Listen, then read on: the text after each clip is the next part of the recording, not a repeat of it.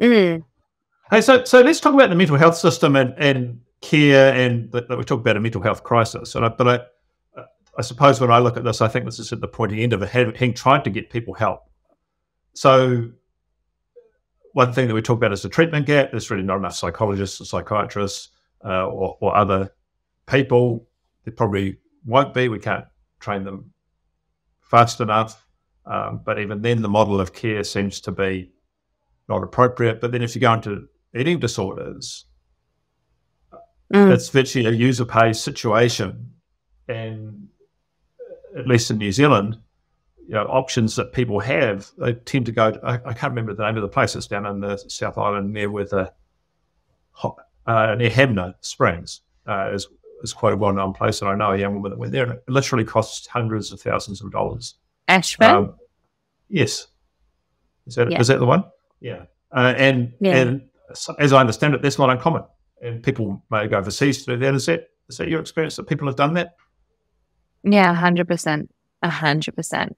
I think um, there's a lot of people in the public system which are trained, which mean well. Um, and they're awesome people and they're awesome professionals and they just want to help. But I think that they don't, they don't have eating disorder, like because because of the crisis which has happened. A lot of people have burnt out. So then a lot of people, like there's people who get it and are trained in it, and there's people who are trained, but they really don't understand or probably have the training they need to support people. And so, therefore, a lot of people, or there's this whole just get people weight restored and turn them over, and they don't do any of the long term work, which is actually needed to be done. And so then people relapse. Um, and so you just end up with this cycle happening for people. Um, and a lot of people have probably given up on the public system, which is really sad. Um, and they're going to private places look, you can go residential, which is private, which costs people thousands every day. That's the fact. Um, residential, I think, is kind of when more people are at a crisis, like, and they're really needing that 24 7 support and they can't get that at home.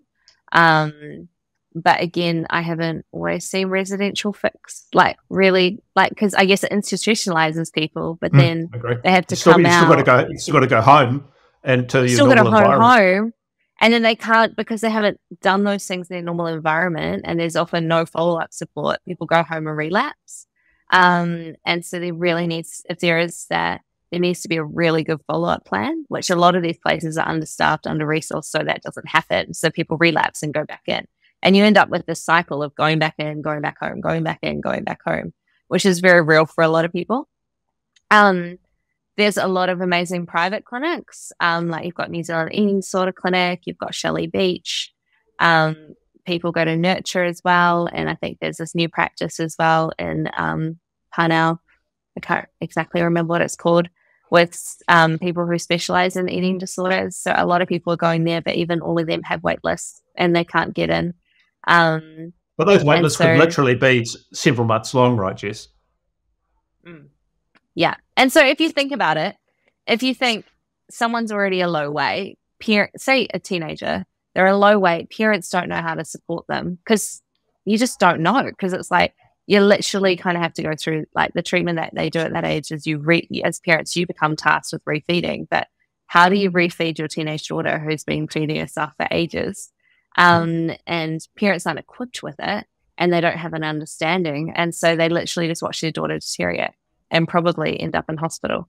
Um, and it's so hard for parents. Like parents are in just such this hopeless place. Like, I mean, even back 15 years ago when I had my eating disorder, there was a wait list there for the public service and I mm. was on it. And my parents used to just ring in desperation, like, we need help, we need help. We're just watching our daughter just deteriorate and we don't want to lose her. So this is the real reality of a lot of people, um, whether you go public or private. And so people look over, to overseas. There's a place in America which people go to, which is residential, but you pay about forty thousand dollars a month. Um, wow. People do that because they're desperate, right? You don't want your daughter to, they do that. people, die. People sell their houses. Like parents sell their houses. Like they take out loans. They do whatever they can. Um, so yeah, it's this really hard place of treatment at the moment. Mm, for a lot of people. And so, what, what, so if you were if you were coming into be a government in Australia or New Zealand, what would you do? What would I do? It's a good question. I would be obviously funding, um, like putting money like in things like day programs and training professionals, like making sure they have proper training and proper ongoing supervision and making sure that they can see people long term. I think another thing is people don't want to work in eating disorders because it's a hard field. Um, so that's the other thing. There is sometimes a lot of vacancies, but people just don't want to do it because it's a hard job. Um, and unless you have that kind of compassion, people don't do it. So there needs to be some sort of incentive for health professionals too sometimes.